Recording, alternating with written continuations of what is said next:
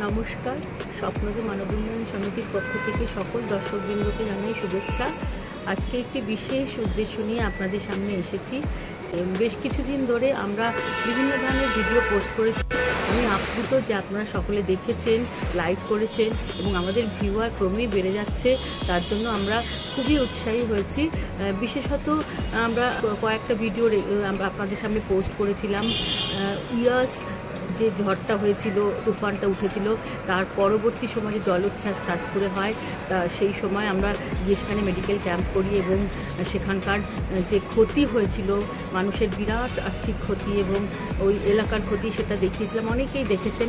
তাছাড়া আমরা বাচ্চাদের ডেভেলপমেন্টের ওরিয়েন্টেড প্রবলেম কী করে সেই বাচ্চাকে ডিটেক্ট করবেন বা কী ধরনের থেরাপি লাগে, সেই বিষয়ে বলেছি এবং মানসিক স্বাস্থ্য নিয়ে বাচ্চাদের বলেছি। এই সময় বিশেষত কোভিড পিরিয়ডে মানুষ শারীরিক স্বাস্থ্য রক্ষা করা বিশেষ প্রয়োজন আছে, কিন্তু পাশাপাশি মানসিক স্বাস্থ্যেরও প্রয়োজন খুব বেশি।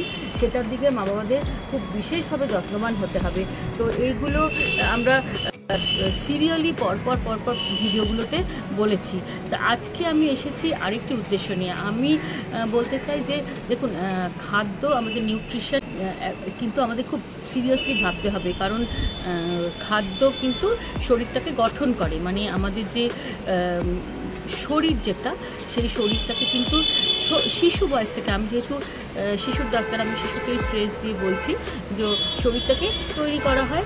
খাদ্যের মাধ্যমে নিউট্রিশন পুষ্টি যাকে বলা হয়। তো আমরা সবসময় যেন লক্ষ্য রাখি যে বাচ্চা ছোট্ট থেকে তার পুষ্টিটা ঠিক হয়। মানে শুরু করি আমি প্রেগনেন্সি থেকে। তো আপনারা জানেন যারা মা হয়েছেন বা বাবা হয়েছেন, তারা সকলেই জানেন যে প্রেগনেন্সি পিরিয়ডে যিনি গাইনোকোলজিস্ট থাকেন, তিনি খুব ভালো রকমভাবেই আপনাদেরকে সাজেস্ট করেন যে কী খাওয়ার দরকার আছে। ক্যালসিয়াম দেওয়া হয়, ভিটামিন দেওয়া হয়, তার পাশাপাশি সুষম আহার দেওয়া হয়, যাতে আপনার গর্ভের ভিতরে বাচ্চাটি বেড়ে ওঠে ঠিকভাবে। তার ওজন যেন ঠিক মতন হয় এবং তার প্রত্যেকটি অঙ্গ প্রত্যঙ্গ সঠিকভাবে বেড়ে উঠতে পারে। এবং যখন বাচ্চাটি জন্মায় সেই কিছুক্ষণ পর থেকেই আমরা কিন্তু মায়ের বুকের দুধ দিতে বলি এবং ছ মাস অবধি আমরা বলি এক্সক্লুসিভ ব্রেস্ট মিল্ক দিতে। তো এই এই ছ মাস কিন্তু বাচ্চার জন্য ব্রেস্ট মিল্কই যথেষ্ট। তার বেশি অন্য কিছু প্রয়োজন হয় না। এমনকি জলেরও প্রয়োজন নেই। অনেকে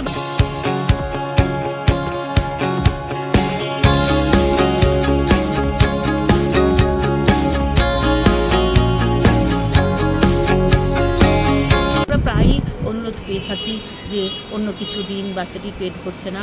তো সাধারণত বাচ্চাদের পেট ভরে যায়। যদি না বাচ্চার ওজন একদম বাড়ছে না মানে আর কোনো কারণ ছাড়া আর কি। বাচ্চার কোনো শারীরিক অসুবিধে নেই, কিন্তু তাও বাচ্চার ওজন বাড়ছে না বা বাচ্চা, মা হয়তো সিরিয়াসলি অসুস্থ আছে, এই কতগুলো বিশেষ অসুবিধার ক্ষেত্রে হয়তো আমাদের কোনো সময় সাপ্লিমেন্ট দরকার হয়, কিন্তু সেটাও খুব রেয়ার তো একটি মা যদি খুব ভালো রকমভাবে মেন্টালি রেডি থাকে কি সে তার বাচ্চাকে ফিট করাবে, তাহলে কিন্তু সে নিশ্চয়ই ছ মাস অবধি সম্পূর্ণ বুকের দুধে বাচ্চাকে বড় করতে পারে। তার গ্রোথ এবং ডেভেলপমেন্ট পরিপূর্ণ হয় যদি ছ মাস তাকে দুধে রাখা যায়। কয়েকটি এক্সেপশন নিশ্চয়ই আছে, কিন্তু তাছাড়া আমি বলব। তো সেক্ষেত্রে বাচ্চার যেমন বৃদ্ধিটাও হয়, বাচ্চার ব্রেনের বিকাশটাও কিন্তু হতে থাকে। মায়ের সাথে বাচ্চার বন্ডেজ তৈরি হয় এবং ভবিষ্যৎ জীবনে আপনারা ভাবতে পারবে না, মায়ের দুধ ইন্ডিভিজুয়ালাইজ প্রতিটি বাচ্চার প্রয়োজন অনুসারে তৈরি হয়। যেমন প্রিটার্ম যদি কোনো ডেলিভারি হয় লো বার্থ ডেলিভারি হয়, সেই মায়ের বাচ্চার কিন্তু মানে সেরকমই প্রয়োজন অনুসারে তার খাদ্যটা আসে মায়ের কাছ থেকে। প্রকৃতির এমনই অদ্ভুত নিয়ম। তো সেরকম মা যদি কোনো রোগে ভুগে থাকেন সেই রোগের যে এগেনস্টে তার যে লড়াই করার ক্ষমতা, যাকে আমরা অ্যান্টিবডি বলি, সেটা মায়ের শরীর থেকে বাচ্চার শরীরে ট্রান্সমিটেড হয়। এই যে দেখুন কোভিডের সময়ও কিন্তু আমরা মায়ের দুধ বন্ধ করতে বলছি না। কিছুদিন অবধি আমরা কিন্তু বলছিলাম যে ভ্যাকসিনেশন দিলে মায়েরা ল্যাকটেটিভ মাদাররা মায়ের বাচ্চাকে অসুবিধা হবে দুধ দিতে, কিন্তু রিসেন্টলি বলা হয়েছে নো আপনারা দেবেন দুধ। মানে অল ল্যাকটেটিং মাদার কিন্তু ভ্যাকসিনেশন নিয়েও বাচ্চাকে দুধ খাওয়াতে পারেন। সুতরাং বুকের দুধের এমনই মাহাত্ম যে যেটা মানে বাচ্চার জন্য বিশেষভাবে তৈরি প্রকৃতির দান বলতে পারেন। তো তারপরে কিছু আর দেওয়ার দরকার পড়ে না। বারবারই আমি বলছি, জলও নয়। হুম। বিশেষ কয়েকটি নিশ্চয়ই অসুবিধা থাকে, সেগুলো আমরা পরে আলোচনা করব। সাধারণত এটি মানে এইটাই যথেষ্ট আপ টু সিক্স মান্থ কিন্তু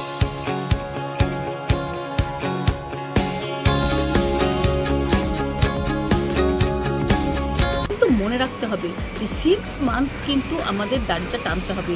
সিক্স মান্থের পাশাপাশি যখন বাচ্চা যেতে থাকবে, বড় হতে থাকবে, তখন কিন্তু তার আস্তে আস্তে প্রয়োজনটা বাড়তে থাকে এবং শরীরও চেঞ্জ হতে থাকে, শক্ত খাবারের জন্য রেডি হতে থাকে তার সিস্টেমটা এবং তার প্রয়োজন বাড়তে থাকে। তো তখন মায়ের দুধই যথেষ্ট নয় বাচ্চার জন্য। সেক্ষেত্রে আমাদের আস্তে আস্তে সলিড ফুড দিতে হবে। পৃথিবীর যে কোনো প্রান্তে দেখবেন যে কোনো দেশে কিন্তু এই রিচুয়ালটা আছে। যখন বিজ্ঞান এই অবস্থায় মানে উঠে আসেনি, এত শিখরে ওঠেনি তখনও কিন্তু মানুষ জানতো যে ছ মাসে একটা অন্নপ্রাশন দিতে হয়। তার কারণ হচ্ছে বাচ্চা দাঁত ওঠে, বাচ্চার দেখুন, তার ভিতরে সিস্টেম রেডি হতে থাকে, সে যাতে সলিড ফুড নিতে পারে এবং সে হজম করতে পারে। এবং পাশাপাশি তখন বাচ্চাটি বসতে শেখে, তার কিন্তু মানে সলিড ফুডটাকে নিয়ে, তাকে সোয়ালো করা সেই যে তার যে স্কিলটা সেটাও সে ডেভেলপ করতে থাকে আস্তে আস্তে। তো বডি এবং মন তৈরি হয়ে যায় তার সলিড ফুডের জন্য এবং বডি তার নিডটাও থাকে প্রয়োজনটাও থাকে সলিড ফুডের জন্য। আমি খুব দুঃখের সাথে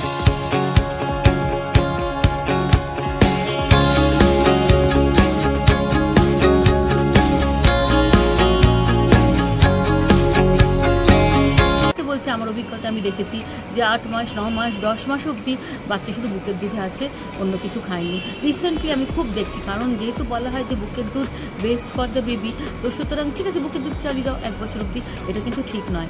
বাচ্চা কিন্তু মানে কিন্তু ডেফিসিয়েন্সি হতে থাকবে। ঠিক আছে? বিশেষত আয়রন ভিটামিন এবং আরও কিছু পুষ্টি কিন্তু মানে বাচ্চা কিন্তু গ্যাপ হতে থাকবে, এগুলো মাথায় রাখবেন। সেক্ষেত্রে কিন্তু বাচ্চাটি কমজোরি হতে থাকবে শুধু বুকের দুধের ওপর থাকলে। বুকের দুধ চলবে, বুকের দুধ চলবে। তার পাশাপাশি আমাদের সলিড ফুডটা কিন্তু স্টার্ট করতে হবে, এটা মাথায় রাখতে হবে, ঠিক আছে? তো সেক্ষেত্রে আমরা কি করতে পারি? আমাদের বাজার চলতি অনেক ফুড অ্যাভেলেবেল আছে সেগুলো তো সাহায্য আমরা নিতেই পারি। যেমন নানান রকমের প্রোডাক্ট আছে, চালের গুঁড়ো, গমের গুঁড়ো, সেগুলো প্যাকেটে পাওয়া যায়। বিভিন্ন কোম্পানির আসে বাচ্চাদের জন্য, আপনারা সবাই জানেন। তো আমি সেগুলোর এখানে সবকটা নাম করতে চাইছি না, কিন্তু আপনারা সবাই জানেন, আপনারা আপনার ডাক্তারের কাছে জেনে নেবেন। কিন্তু তার পাশাপাশি হোম বেস্ট হচ্ছে হোমমেড খাবারগুলো দেওয়া। তো এক সময় তো ছিল, যখন এগুলো ছিল না মার্কেটে মানুষ কিন্তু হোমমেড খাবার তৈরি করেই বাচ্চাদের দিত। তো সেমি সলিড এবং যত, যখন বাচ্চা একদম ছোট তখন অলমোস্ট লিকুইড ফুড ধরুন যেরকম ফলের রস, এটা আমরা শুরু করলাম। তারপরে আস্তে আস্তে আমরা মানে গলা ভাত, একদম গলা ভাত, ডালের জল এগুলো শুরু করতে থাকলাম। স্ম্যাশড আলু হ্যাঁ সেদ্ধ আলু এগুলো শুরু করতে থাকলাম। এবং নতুন যখন খাবার একটা দেবেন কয়েকটা দিন, পাঁচ সাত দিন টাইম দেবেন তাকে ওই খাবারটার সাথে অ্যাডজাস্টেড হওয়ার জন্য বা তার কোনো সমস্যা হচ্ছে কি না সেটা দেখার জন্য। তারপরে আবার আরেকটা নিউ ফুড অ্যাড করতে থাকবেন। একটু সময় না দিলে কী হয় বলুন তো?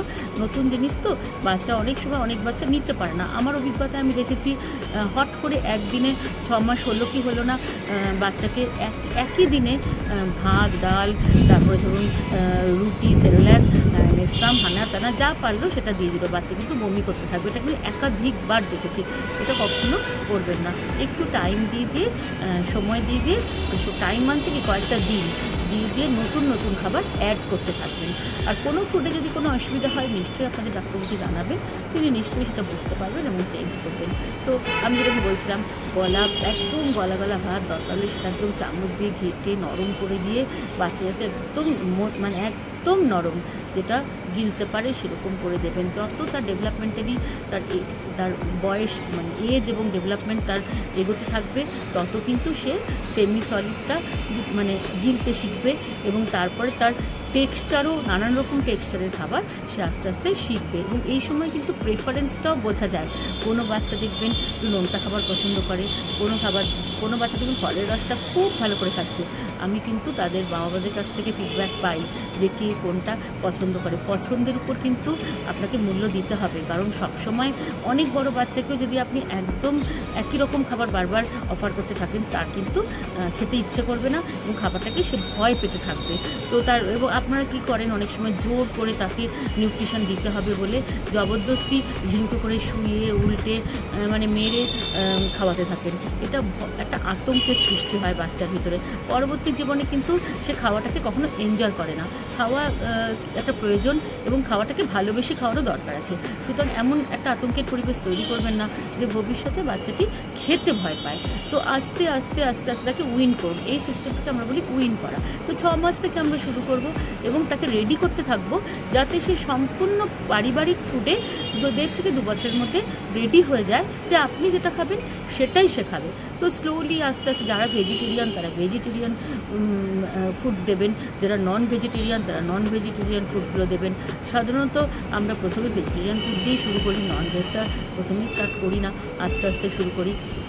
আট মাসের কাছাকাছি গেলেই বাচ্চাকে একটু একটু করে যারা নন ভেজিটেরিয়ান একটু ফিশ দিলেন কি আস্তে আস্তে তারপরে আস্তে আস্তে ডিমটা অ্যাড করতে থাকলেন যে পারল দশ মাসের টাইমে গিয়ে তারপরে আস্তে আস্তে আপনি আরও কিছু দিলেন। আর যারা ভেজিটেরিয়ান নিশ্চয়ই আস্তে আস্তে ভেজিটেবলগুলো স্ম্যাশ করে ভেজ স্যুপগুলো দিলেন প্রথমেই নিশ্চয়ই তারা তাদের দাঁতও থাকে না, তারা চিবিয়ে চিবিয়ে ওগুলো খেতে পারবে না। সেগুলোকে খুব ভালো রকম করেই সেদ্ধ করে এবং নরম করে দাঁতের মতন করে হয়তো প্রথম দিকে চেকে নিতে হতে পারে, কিন্তু তারপরে আস্তে আস্তে আস্তে আস্তে একটু একটু করে তাদেরকে খাওয়াটা শেখাতে হবে। সাবধান থাকবে যাতে তাতে কলায় না আটকে যায়। এই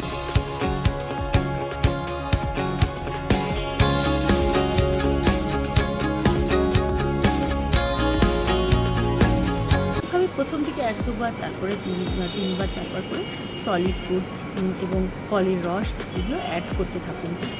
করে দেখবেন বাচ্চাটি কিন্তু যাতে খাওয়ার সময় সুন্দর করে খাবারটাকে এনজয় করে খায়। রিসেন্টলি আমি একটা প্রবলেম দেখতে পাচ্ছি যে খাবার সময় নাকি মোবাইল ফোন না দিলে বাচ্চা খায় না।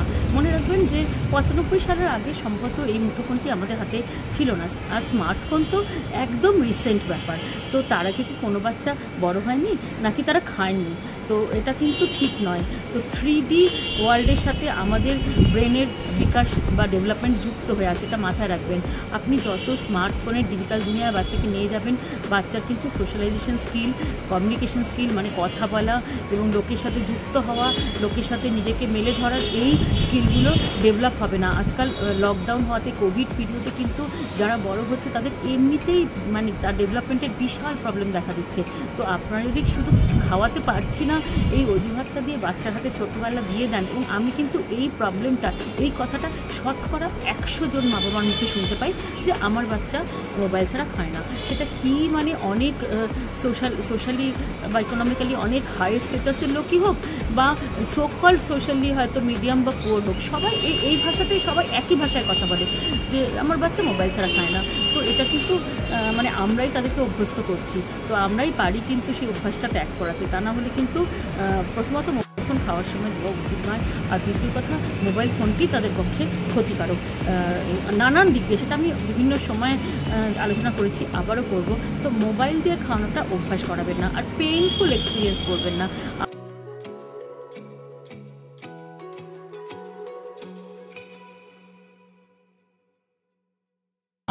ছোটোবেলায় অনেক সময় না ঠাকুমারা, দিদিমারা দেখিয়ে দেখিয়ে অনেক কিছু খাওয়াতো, বাইরের জিনিস। তো বাচ্চাকে অনেক সময় ভুলিয়ে খাওয়ানোর দরকার হয়, খেলা দিয়ে খাওয়ানোর দরকার হয়। তো সেরকম খেলিয়ে ভুলিয়ে খাওয়ানোর চেষ্টা করুন। আমি জানি অনেক মাই কাজ করেন আজকালকার দিনে। ওয়ার্কিং মাদার বা অনেকে ওয়ার্ক ফ্রম হোম করছেন, তো তাদের পক্ষে খুব ডিফিকাল্ট করে দাঁড়ায়। তো ওয়ার্কিং মাদারদের কষ্ট আমরা নিজেরাও বুঝি, কারণ আমরা নিজেরাও তো সেই এক্সপিরিয়েন্সটা করে এসেছি। তো তাদেরও বলব যে কোয়ালিটি টাইম একটু বাচ্চার সাথে দিন। অন্তত একটা দুটো খাবার আপনি নিজের হাতে বাচ্চাকে খাওয়ান, বাচ্চার সাথে আপনার বন্ডেজটা তৈরি হবে। তো ব্রেস্ট মিল্ক যারা, দেখুন ছুটিও তো এই জন্য সরকার প্রোভাইড করে। প্রাইভেটে হয়তো লোকে অতদিন ছুটি পান না, কিন্তু গভর্নমেন্ট জবে কিন্তু অনেকটা ছুটি পান আপনাকে নার্সিং করার জন্য। তারপরে কিন্তু আপনি যখন একটা দুটো ফিড অন্তত চেষ্টা করবেন বাচ্চার সাথে থাকতে, তাকে খাওয়াতে তাকে তার ব্রেনের বিকাশে সাহায্য করতে এবং অবশ্যই তার পুষ্টিটা প্রপার ওয়েতে দিতে। তো এবং সেটা মোবাইল ফোন দিয়ে নয়, আপনি কথা বলুন, আপনি হাসুন। বাচ্চা কেন খাবে না খাওয়ার? তো তার প্রয়োজন, তার নিড আছে। একটা বাচ্চা যখন জন্মায়, দেখবেন সে খাওয়ার জন্য চিৎকার করে কাঁদতে থাকে। তো সেই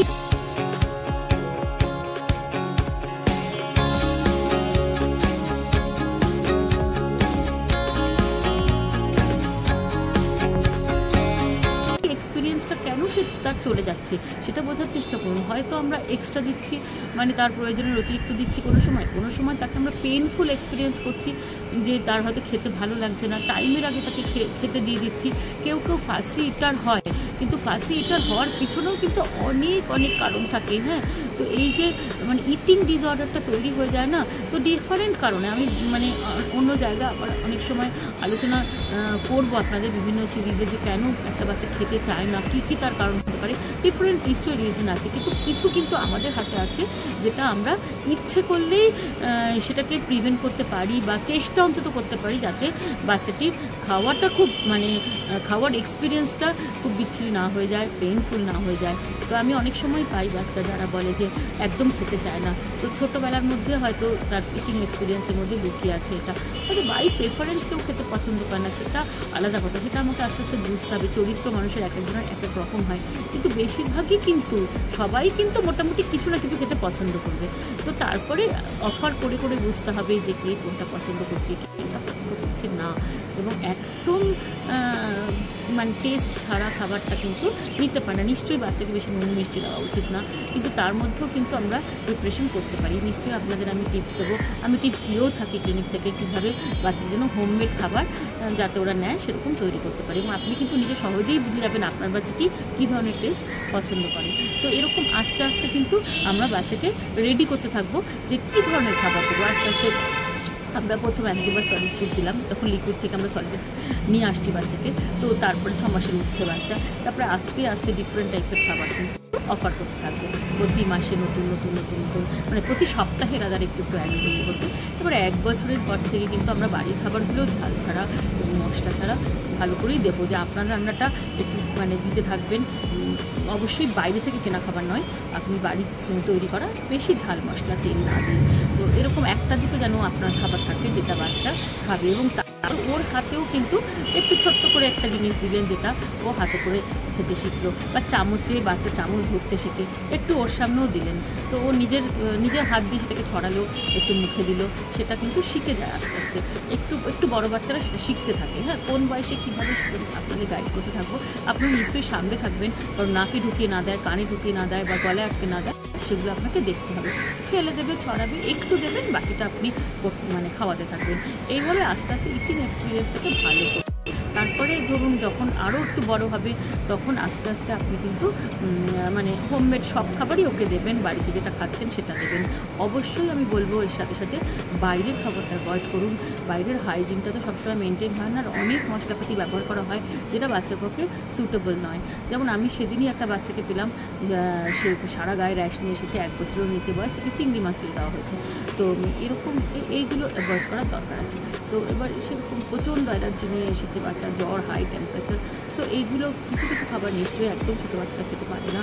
তো সেটা বুঝে বুঝে আমাদের অফার করতে হবে। কিন্তু আস্তে আস্তে আস্তে আস্তে কিন্তু আমরা তাদেরকে হোমমেড খাবারে নিয়ে আসতে পারব যদি আমরা ঠিকভাবে চলি। এবং প্রপার একটা যেটাকে সুষম আহার বলা হয়, একটা ব্যালেন্স ডায়েট দিতে পারব। ব্যালেন্স ডায়েটটা শুধুমাত্র মাছ, মাংস নয় বা শুধুমাত্র ডাল ভাত নয় ব্যালেন্স ডায়েটটা কিন্তু সব রকম ইনগ্রেডিয়েন্টস দিয়ে থাকে তার মধ্যে থাকে। আমি ছ মাস থেকে মানে দু বছর অবধি বাচ্চার ক্ষেত্রে বলছি যে ব্যালেন্স ডায়েট যখন আসবে তখন কিন্তু আমাদের সিরিয়াল থাকবে তার মধ্যে একটু সবজি থাকবে, তার মধ্যে একটু ডেয়ারি প্রোডাক্ট মানে মিল্ক প্রোডাক্টও থাকছে, তার মধ্যে ফল থাকছে হ্যাঁ আরেকটু বড় বাচ্চাদের জন্য আমরা নাটস টাইপের জিনিস দেবো। বেশ বড় যারা তাদেরকে বেটে দিতে পারি, একটু বাদাম টাইপের জিনিস। এরকম একটু একটু করে আমরা অ্যাড করতে থাকব ডিফারেন্ট টাইপের খাবার। তো এবং বিশেষত গাজর হ্যাঁ যেমন মানে হাই কালার বলা হয় এগুলোতে ভিটামিন এ প্রচুর থাকে। সব রকম ভালো সবজির ভিতরেই কিন্তু ভিটামিনস থাকে। তো কোনো জিনিসটা আমার বাচ্চা সবজি একদম খায় না। এই কথাটা আমি প্রায় শুনে থাকি। কিন্তু আমি, আমার বাচ্চা ভীষণ মাছ, মাংস খায়। তো তার ফলটা কী হয়? তার কিন্তু ভিটামিন ডেফিসিয়েন্সি হয়। এবং রিসেন্ট মানে কয়েকটা বছর আগে আমি শুনেছি, শুধু একটু বড় বাচ্চা তারা কিন্তু শুধু বিরিয়ানিই খেয়ে যাচ্ছে, কারণ সেটা খেতে তারা পছন্দ করে। আর ফ্যাট তো বলার কথা না। তো আমাদের ভিতরে একটা খুব সুন্দর কথা চলতো যে আমরা যখন আরেকটু আগে আমাদের এক্সপিরিয়েন্স আমরা ম্যাল নিউট্রিশন দেখতাম মানে অপুষ্টি। এখন আমরা কি দেখি? আমরা দেখি মল নিউট্রিশন মানে অতি পুষ্টি এবং সেটাও কিন্তু খুব খারাপ। আপনার কিন্তু অতিরিক্ত যদি বাচ্চাকে এটা একটা পয়েন্ট এবং বেশি মশলাদার, বেশি তৈলাক্ত খাবার খাওয়ান, তাহলে কিন্তু তার ভিতরে শরীরের কলকবজা কিন্তু নষ্ট হতে থাকবে। এটা মাথায় রাখবেন। খুব আর্লি ডায়াবেটিস আসতে থাকবে, বাচ্চা ফ্যাট হতে থাকবে ফ্যাটি লিভার আমরা পাই। আরও নানা ধরনের রোগ খুব তাড়াতাড়ি আসতে থাকবে হ্যাঁ? সেটা কিন্তু ভালো না। তার মধ্যে ঘরে বসে আছে এখন তো লকডাউন পিরিয়ড বিশেষত এক্সারসাইজ করছে না স্কুলে যাচ্ছে না। সুতরাং ব্যালেন্স ডায়েট এবং দ্যাট টু এবার অ্যামাউন্ট হ্যাঁ বাচ্চাকে দেওয়ার দরকার আছে এবং অ্যাডিকুয়েট ওয়াটার দেওয়ার দরকার আছে। এটা সবটাই আমি ছ মাসের উপরে বললাম, নিশ্চয়ই ছ মাসের নিচে, এটা নয়, ছ মাসের নিচে মায়ের দুধই এনফ তার বেশি দরকার পড়ে না।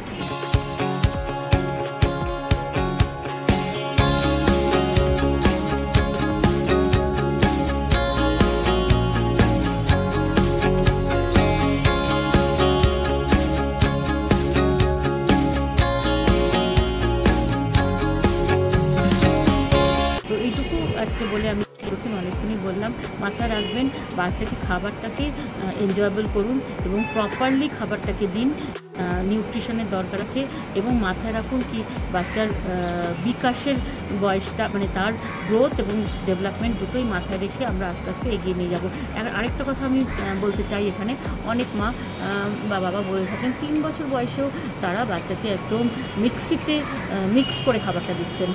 এটা কিন্তু একদম ঠিক নয়। হ্যাঁ আপনি মিক্সিতে মিক্স করে লিকুইড খাবারটা তিন বছর বাচ্চাকে অফার করছেন, এটা ঠিক নয়।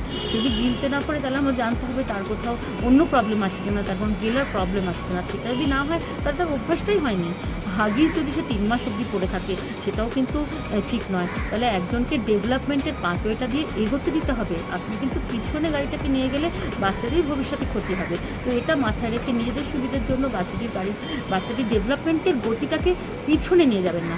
সামনে এগিয়ে ধরুন তাহলে তার ভালো হবে। সে অপটিমালি গ্রো এবং অপটিমালি ডেভেলপড হবে এবং তার কনফিডেন্সটাও বিল্ড হবে। নমস্কার।